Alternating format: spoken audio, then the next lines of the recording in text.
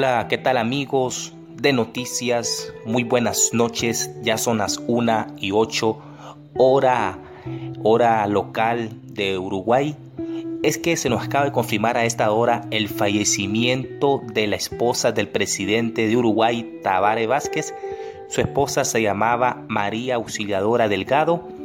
Eh, se acaba de confirmar esto a través de un tweet y también por muchas páginas de Google dice que falleció la señora María Auxiliadora Delgado.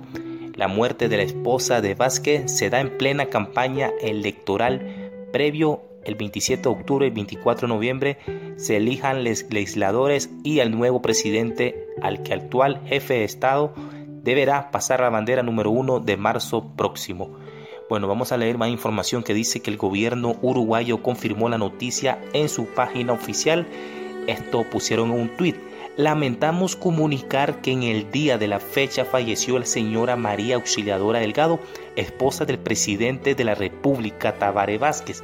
El velatorio tendrá lugar en la empresa Martinelli a partir de las 8 y el sepelio será a la hora 15 en el cementerio de La Teja. Esto fue lo que nos indican en estos momentos. Vamos a ver noticias más adelante cuáles fueron sus causas. Eh, vamos a contar un poquito sobre su historia. Toda una vida juntos se conocieron de adolescentes en el Kermes de un colegio católico y se casaron jóvenes hace casi 55 años el presidente Tabare Vázquez y María Auxiliadora, una vida intensa desde su barrio obrero de La Teja hasta llegar del brazo a la jefatura de Estado en dos ocasiones. Ella siempre fue una mujer fiel a la Iglesia Católica y no quiso ser protagonista de primera línea, sino que acompañó a Tabare en campañas electorales. Bueno amigos, yo también expreso mis condolencias eh, a sus familiares y amigos. Eh, pasa su alma.